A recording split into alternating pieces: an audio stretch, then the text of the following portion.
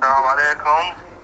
آه، أقدم رسالتي أنا إلى النيابة العامة. عن النزيل صالح في سجن جو في مملكة البحرين محكوم عليه بالإعدام من منطقة الحد. وأعلن إني مضرب عن الطعام بسبب سوء الأوضاع في السجن من عام 2017 إلى اليوم. وتم تركيب حواجز عقابية في الزيارات وتم تقليص الزيارة شهرين زيارة واحدة ولمدة نص ساعة فقط. وهذا يعني إجحاف وانتهاك لحقوق الإنسان وهذه معاناة نعاني منها إحنا جميع النزلاء يعني.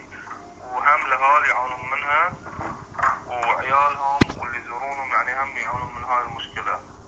ونتمنى منكم مساعدتنا في الحصول على هذه المطالب الإنسانية